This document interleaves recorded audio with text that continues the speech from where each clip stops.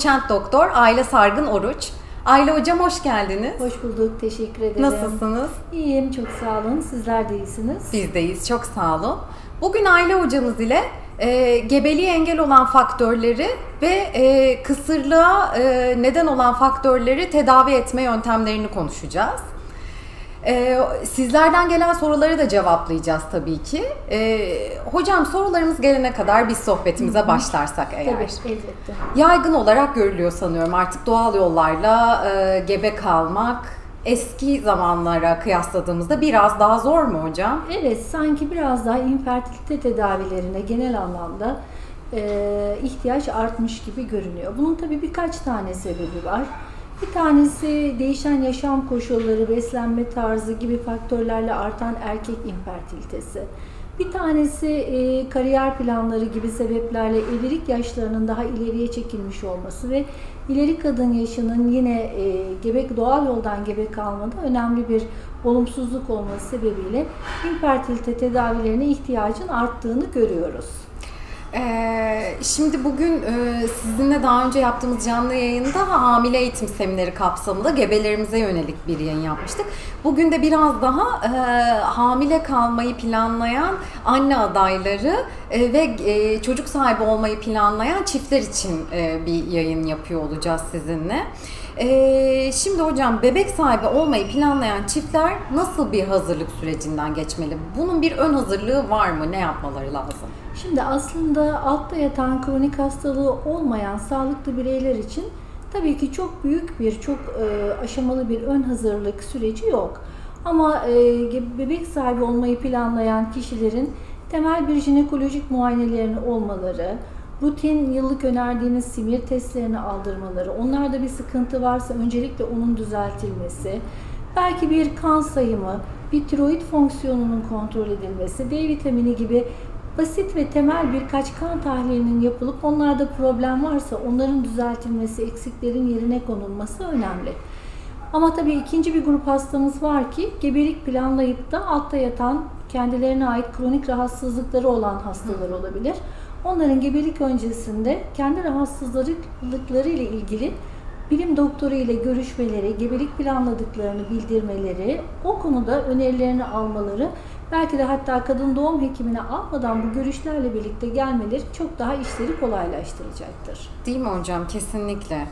Ee, şimdi girişteki konuşmamızda ufak ufak değindiniz ama biraz açmanızı rica edersem sizden. Hı hı.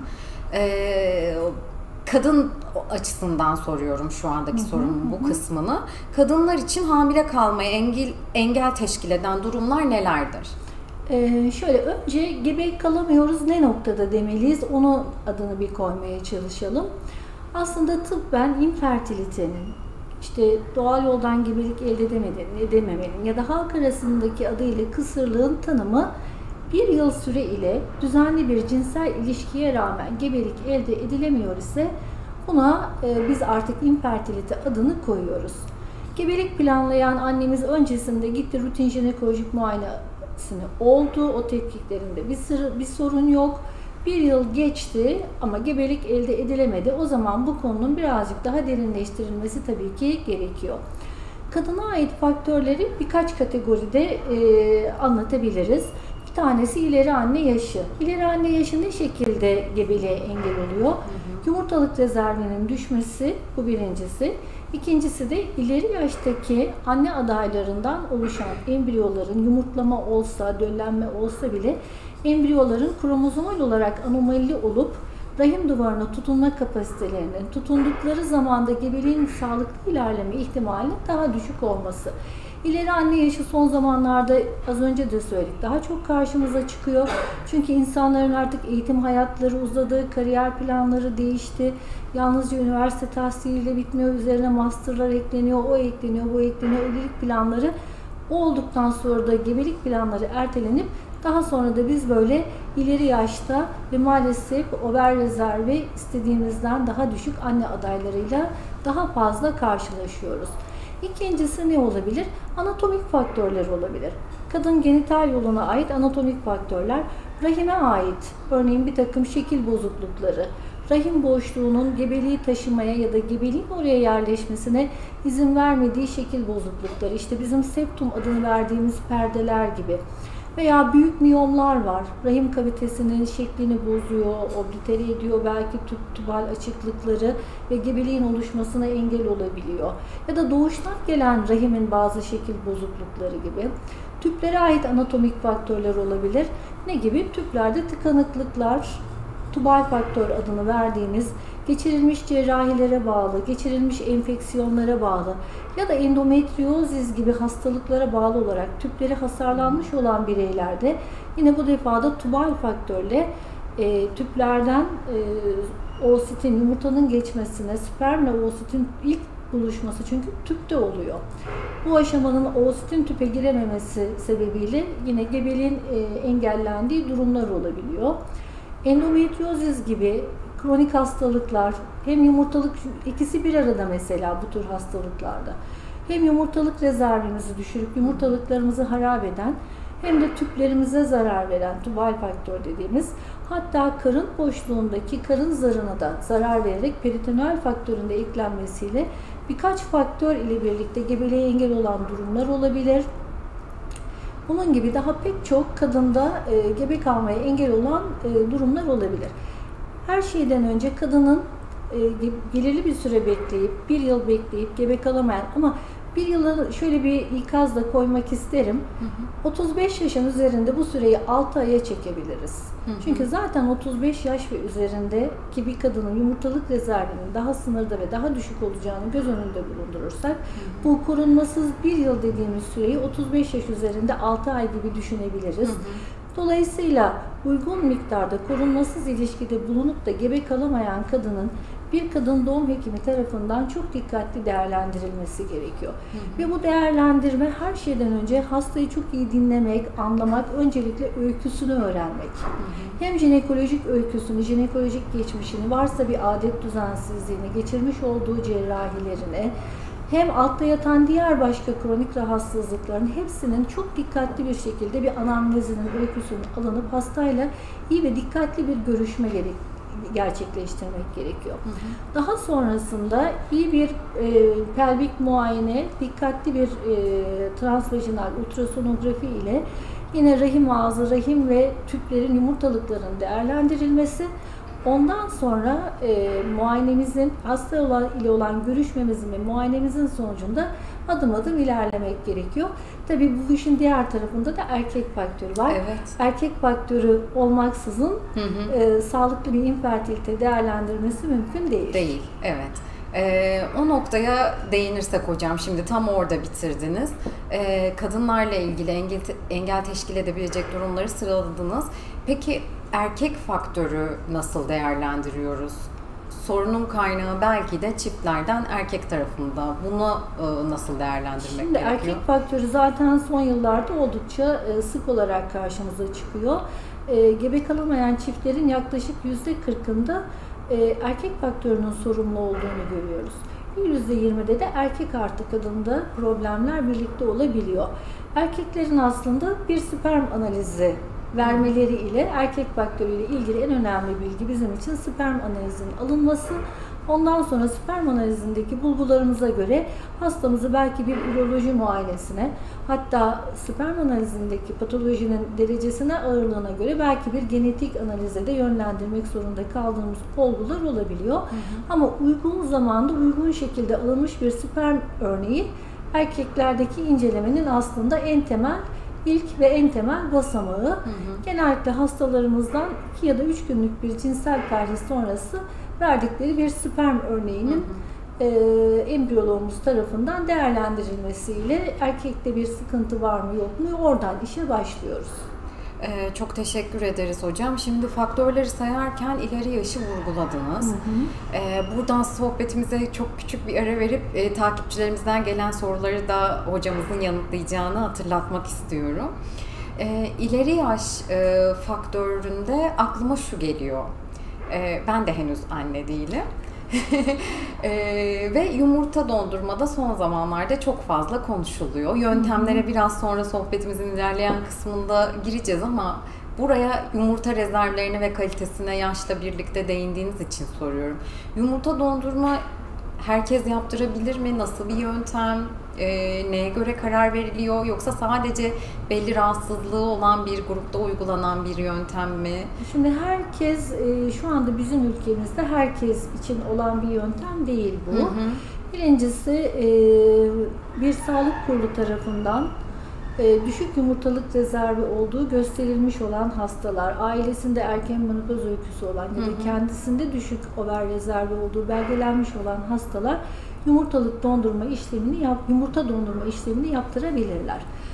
E, bir de e, yumurtalık rezervi iyi bile olsa kemoterapi, radyoterapi gibi hı hı. yumurtalıklara zarar verecek işlemlere girecek olan hastalarımız yine Sağlık Kurulu tarafından bunlar belgelendikten sonra yumurta toplama, yumurta dondurma işlemini yaptırabilirler. Hı hı. Artık günümüzde embriyo, sperm, yumurta bunların hepsi dondurulup daha sonra kullanılabiliyor. Hı hı. Yumurta dondurma çözme işleminden en fazla hasar gören doku. Embriyo ve sperm hı hı. daha dayanıklı. Dolayısıyla çok geç kalmadan e, yumurta dondurma düşünen hastalarımızın eğer böyle bir risk grubundaysalar harekete geçmelerini öneririm.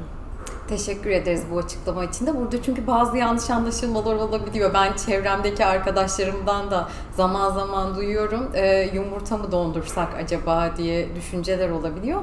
Belli koşulları evet, belirli olduğunu. koşulları sağlamak gerekiyor. Hı hı, hatırlatmak gerekiyor. Teşekkür ederiz hocam. E, arada bir takipçimizden gelen bir soruya e, geçersem, e, boş gebelik neden olur diye sormuş takipçimiz. Aslında bugünkü konu, şey, konuşmamızla çok ilişkili değil ama hani hı hı. tekrarlayan gebelik kaybı bakımından onu da bir infertilite gibi hı hı. A, şey gibi algılarsak boş gebelik aslında bizim daha çok blighted ovum dediğimiz yani gebeliğin aslında döllenme olmuş, gebelik kesesi oluşmuş ama embriyonun erken safhada gelişiminin durduğu gebelikler bunlar. Orada mutlaka ki bir embriyo oluşuyor ama bizim klinik olarak izleyebileceğimiz aşamaya gelemeden bu embriyonun gelişimi duruyor.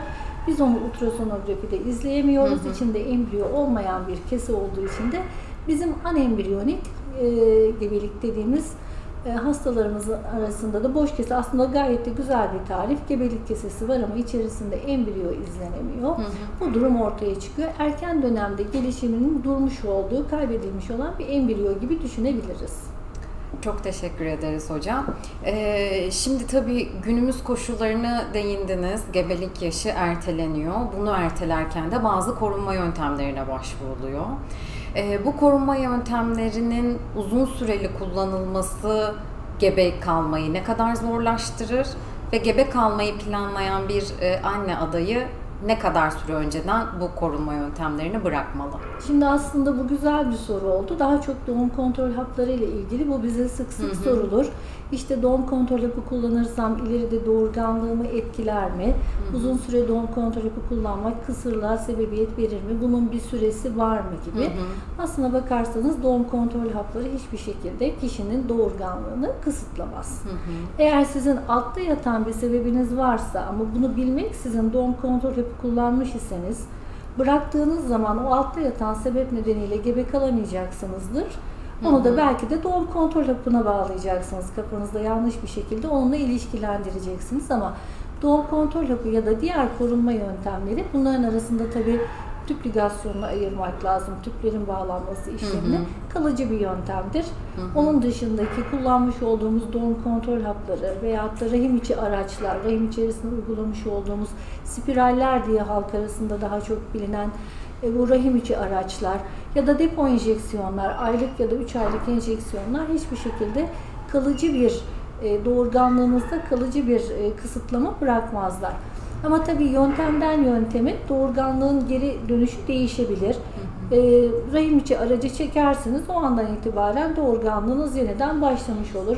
Doğum kontrol hapını bırakırsınız. Genellikle 1-3 ay deriz biz ama ertesi ay bile gebe kalan hastalarımız hı hı. vardır doğum kontrolü.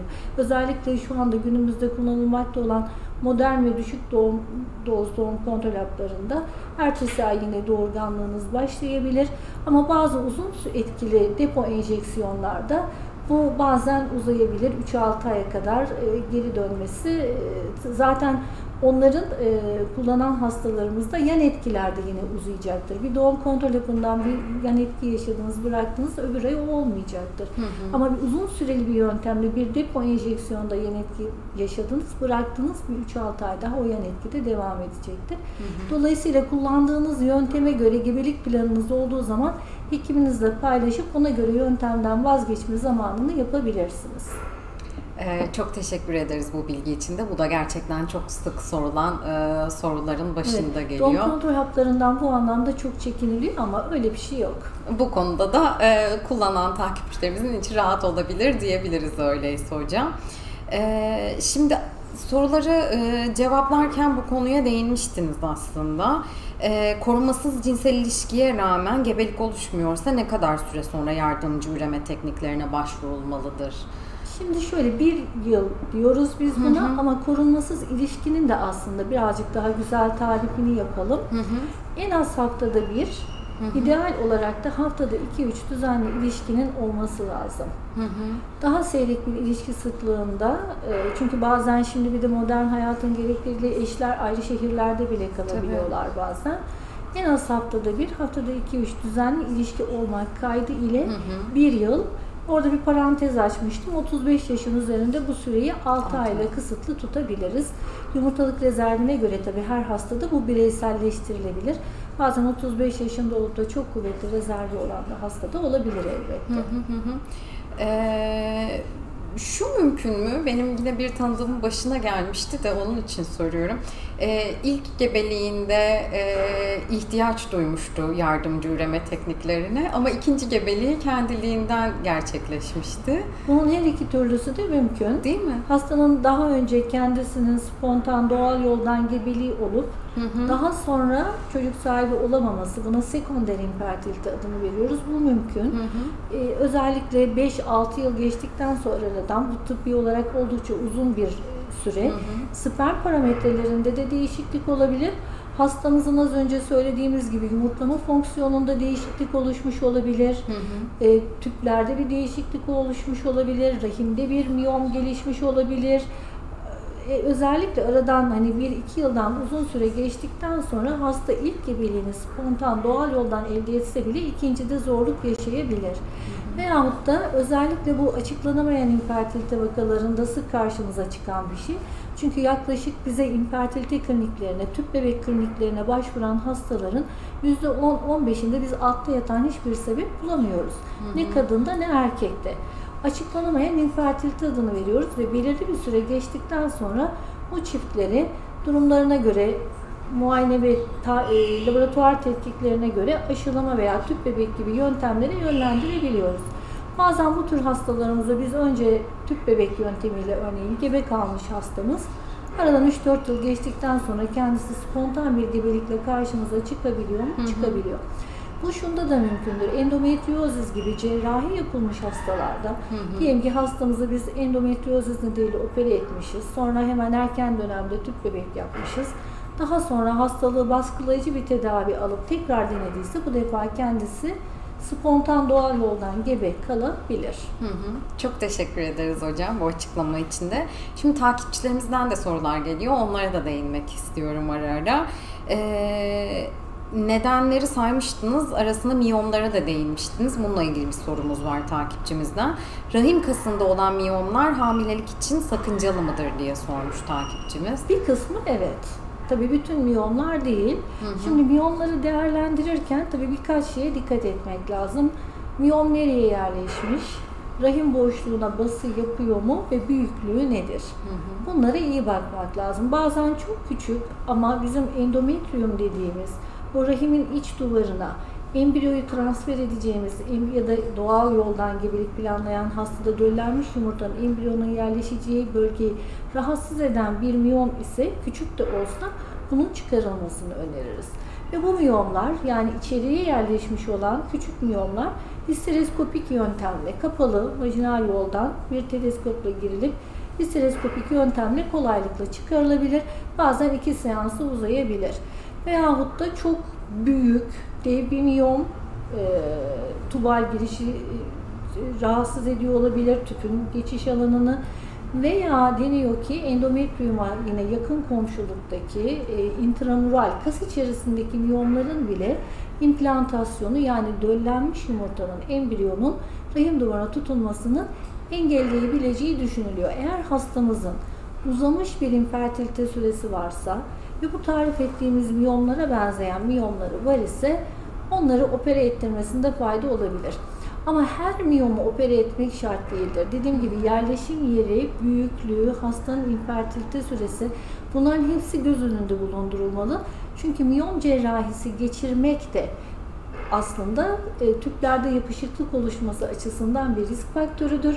Hastayı ameliyat edelim, öyle mi olsun, etmeyelim, kendisi mi denesin. Dediğim gibi hastanın miyomunun büyüklüğü, yerleşim yeri, infertilite süresi, hastanın yaşı, bütün spermin durumu bunların hepsi bir araya getirilip bir karar vermek lazım. Cerrahi mi yoksa yardımcı üreme tekniklerine miyom dururken devam etmek mi şeklinde. Çok teşekkürler Ayla Hocam bu açıklamanız için de. Şimdi az önce yumurta dondurmaya değinmiştik. Onunla ilgili bir takipçimizden soru gelmiş yine. E, yumurta dondurma kaç yaşına kadar olabiliyor diye sormuş takipçimiz. Bir yaş sınırı var mıdır? E, şimdi şöyle zaten bir kere yaş burada çok kısıtlayıcı evet. olduğu için doğal olarak bir evet. yaş sınırı var. Aslına bakarsanız şu yaştan sonra insanlar yumurta donduramaz diye Türkiye'de genellikle 45 yaşın üzerinde yardımcı üreme ile ilgili herhangi bir işlem yapmama eğilimindeyiz zaten. Ama yumurta dondurmadaki en önemli yaş kısıtlaması hastanın yumurtalık rezervi ile ilgili olan hastalar çok hakikaten yaşları ilerlemeden yumurta elde edilebilecek aşamada iken rezerv kaybının başladığı dönemlerde bunu yaparlarsa çok daha faydalı olacaktır. Teşekkür ederiz hocam bu bilgi için de. Ee, şimdi biraz daha yöntemlere girersek. Ee, doğal yollarla gebelik elde edilememesi durumunda kullanılan güncel tedavi yöntemlerini bize biraz açıklayabilir misiniz hocam? Elbette. Şimdi burada da e, niye, niye çok önemli tabii ki. Hani neden e, gebe kalamadık?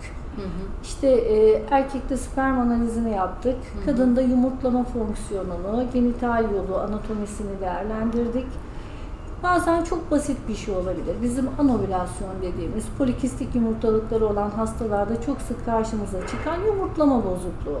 Hı hı. Bu mesela çok daha kolay, çok daha basit, çok daha ucuz yöntemlerle genellikle tedavi edilebilen bir durumdur. Yumurtlamayı hızlandırıcı tedaviler verilip yalnızca bir çatlatma iğnesi yapılıp zamanlanmış ilişki ile bile bu hastalarda gebelik elde edilebilmekte.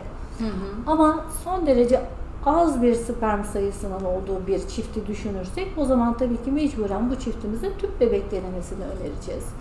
Ya da bir yıl, iki yıl belki bazen bu çiftler bize çünkü bakılıyor her şey normal. Uzamış infertilite süresi olan, açıklanamayan infertilite olgusu olan bir hastamız geldiği zaman da ya da belki bir hafif erkek faktörü olan hı hı bir hastamız geldiği zaman da onlara da diyeceğiz ki ya biz sizde öncelikle aşılama deneyelim. Şu yumurtayla spermi biz bir karşılaştırmaya çalışalım. Bakalım ne olacak deyip onlara da aşılama önerilebilir. Dolayısıyla hastanın infertilitesinin altında yatan sebep bizim seçeceğimiz tedaviyi e, yönlendiriyor. Hı hı. Çok basit bir ovülasyon indüksiyonu dediğimiz yumurtlanmanın, yumurtlamanın tetiklenmesiyle gebe kalabilecek hasta olabilir. Hı hı. Aşılamanın denenebileceği hastalar olabilir. Aşılama için en uygun hastalar genellikle açıklanamayan infertiliteler, hafif erkek faktörü olan hastalarımızdır.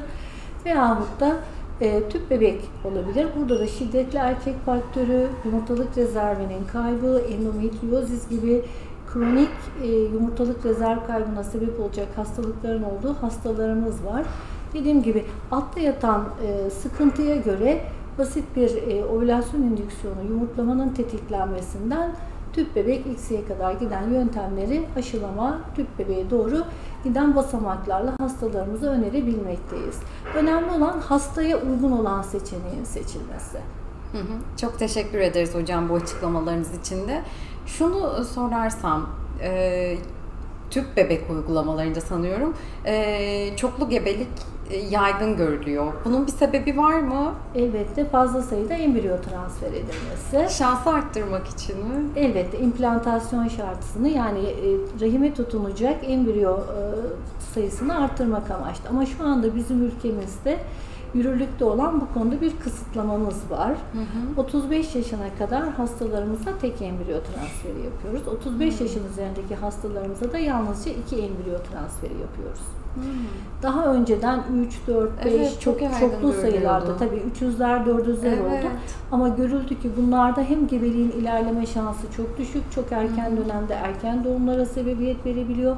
Perinatoloji kliniklerinde bir sürü prematür doğumlar, sıkıntılı gebelikler, artmış gebelik komplikasyonları. Çünkü çoğu gebelik eşittir riskli gebelik olduğunu evet. unutmamamız gerekiyor. Abortlar, erken doğumlar, prematür bebekler, anne açısından çoğul gebeliğin getirdiği medikal komplikasyonlar sebebiyle ülkemizde şu anda oldukça faydalı olan bir kısıtlama var. Hı hı. 35 yaşına kadar tek transfer, 35 yaşından sonra çift transfer veya daha önce başarısız iki denemesi olan hastalarda yine çift embriyo transferine izin veriliyor. Ama ilk denemeniz ve 35 yaş altındaysanız tek embriyo transferi. Teşekkürler hocam. Şimdi e, iki kere deneme dediniz. Çok daha fazla sayıda e, deneyenlere şahit oluyoruz, duyuyoruz. E, sanıyorum buna da tekrarlayan tüp bebek başarısızlığı evet. deniyor. Bunun nedenleri nedir ve tekrarlayan tüp bebek başarısızlığı durumlarında bu sorunu çözmek adına neler yapılabiliyor? Evet, şimdi tekrarlayan, e, biz ona tekrarlayan implantasyon başarısızlığı adını veriyoruz. Tekrarlayan implantasyon başarısızlığında tüp bebek işleminin sonunda bir yumurta elde ediyorsunuz. Sperm de buluyorsunuz TSP'si ise her ne şekilde ise embriyo oluşuyor. Embriyoyu transfer ediyorsunuz fakat tutunamıyor. Bundan daha önceki aşamalardaki kayıpları saymıyoruz. Tekrarlayan implantasyon başarısızlığı için embriyo elde ettiğimiz, embriyo transfer ettiğimiz ama tutunmanın, implantasyonun embriyonun rahim duvarına tutunmasının oluşmadığı vakalardan bahsediyoruz. Tekrarlayan implantasyon başarısızlığı olan çiftlerde bazı şeyler yapılabilir.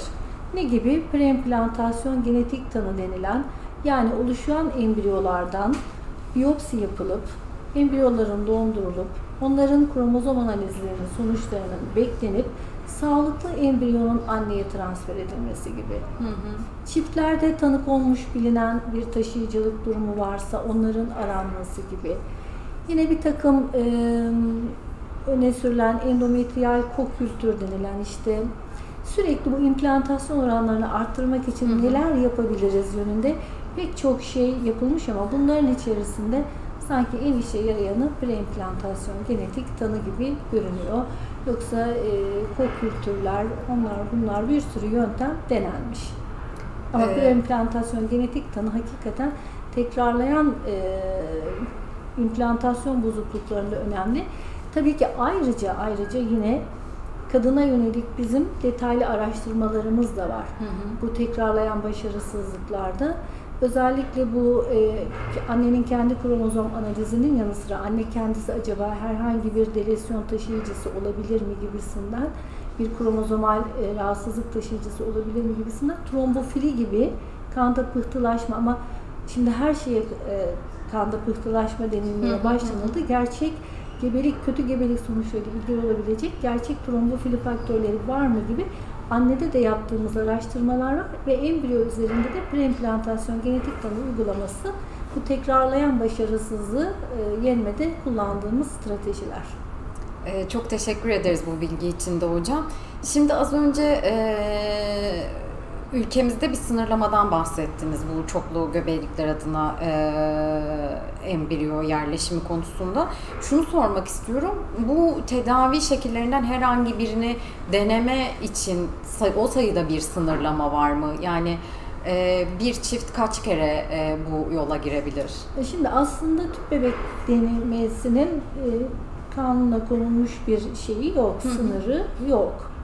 Ee, ve pek çok e, araştırma yapılmış. Acaba çok sayıda tüp bebek denemek yumurtalık kanserine sebebiyet verir mi? Hı hı. Ee, ya da yumurtalık rezervini tüketir mi? annede ciddi bir sıkıntıya sebebiyet verir mi? Yumurtalık kanseri ya da diğer jinekolojik kanserlerle tüp bebek denemelerinin sayısının artması bir risk faktörü olarak görülmemiş. Ancak orada yüksek doz, kısa süreli de olsa yüksek dozlara ulaştığımız için meme açısından tüp bebek denemesinin minör, zayıf hı hı. bir risk faktörü olarak ele alınıyor hı hı. artık tüp bebek denemeleri. Çünkü orada şiddetli bir hormon bombardımanı oluşuyor hı hı. gerçekten. Hormon düzeyleri oldukça yükseliyor. Genellikle klinikler kendileri koyuyorlar bu sınırlarını. Hı hı. Veya işte çok fazla denemesi olan hastalarda öncesinde hastanın bir genel sağlık durumuna bakıp ondan sonra denemeyi yapmak gibi. Fakat e, 6'ya kadar deneme genellikle yapılıyor. İnşallah da bu sayılar içerisinde çiftlerimiz başarılı sonuca ulaşırlar.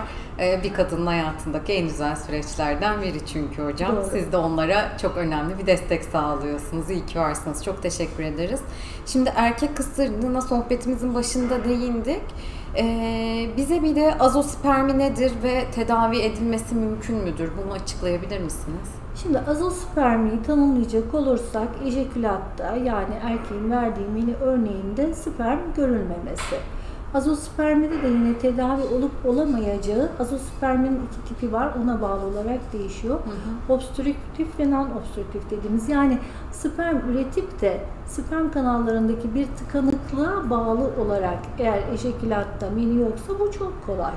Hani bu ıı, spermin aspirasyon yöntemiyle bulunduğu yerden alınıp tüp bebek uygulamasında kullanılması şeklinde çok kolay yenilebilecek bir şey.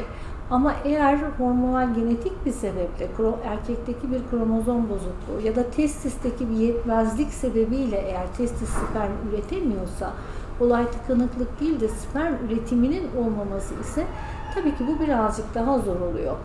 Hastalarda evet bazı e, onları zaten urolog arkadaşlarımız androloji ile ilgilenen urolog arkadaşlarımız hı hı. detaylı bir şekilde hastaları değerlendiriyorlar cerrahi yapılmasını eğer varikosel gibi cerrahiyle çözülecek bir şey varsa onu çözüyorlar. Ama az önce söylediğim gibi testiste bir yetmezlik varsa, sperm üretemiyorsa, kromozomal bir bozukluk varsa baba adayında onlarda bu çok zor. Bunlarda da test edilen cerrahi olarak testisin içerisinde sperm arama işlemi yapılabiliyor. Hı hı. Genellikle önce sperm aranıyor, eğer sperm bulunabilir ise bu bireylerde ondan sonra kadın hastamızda yumurta toplama işlemine gidiliyor. Yani biraz azosperminin ne, neden kaynaklandığıyla alakalı. Hı hı. Dediğim gibi eğer bu tıkanıklığa bağlı olan bir şeyse ya da bir e, azospermi değil de hafif sperm anomalisi varsa varikosele bağlı bunlar daha kolay düzeltilebilen şeyler. Ama testisteki bir yetmezlik söz konusuysa hı hı. o zaman testis sperm üretemiyorsa o hastalarımızda biraz işler zorlaşabiliyor. Cerrahi yöntemiyle testislerden sperm ayıklanması diye özetleyebileceğimiz hı hı. bir işlem yapılması icap ediliyor. Onda da bazen bulunuyor sperm. İyi kalitede bazen bulduğumuz sperm çok iyi bir sperm olmayabiliyor hı ya da bulunamayabiliyor. Hı hı hı. Çok teşekkür ederiz hocam verdiğiniz tüm bilgiler için. Ee, genel olarak bugün sizinle gebeliğe engel olan faktörleri ve e, bu faktörlerin e, önlenmesine kullanılan güncel tedavi yöntemlerini konuştuk. Sizin eklemek istediğiniz bir şey var mı konuştuğumuz konulara? Ee, öncelikle tabii ki evlat sahibi olmak isteyen herkesin bu duyguyu yaşamasını isterim. Ee, az önce bahsettiğimiz e, doğal e, yoldan gebelik elde etme süreleri geçtikten sonra da ama çiftlerin vakit kaybetmeden e, güzel bir şekilde değerlendirilmesini doğru yönlendirilmeyle uygun ve basamaklı bir tedaviyle e, inşallah güzel sonuca ulaşmalarını dilerim. İnşallah hocam siz de bu yolculukta onların yanında iyi ki varsınız, iyi ki destek oluyorsunuz çiftlerimize. Çok sağ olun. Ee, bugün e, canlı yayınımızda kadın hastalıkları doğum bölümümüzden doçent doktor Ayla Sargın Oruç'la konuştuk. Sizlerden gelen soruları ve konuştuğumuz konuya dair merak edilen soruları cevapladı hocamız. Canlı yayınlarımızdan haberdar olmak için ve bu canlı yayınımızı kaçırdıysanız eğer tekrarını izlemek için Bütün sosyal medya hesaplarımızdan bizlere ulaşabilirsiniz. Bizleri takip etmeyi unutmayın. Sağlıklı günler dileriz. Hoşçakalın.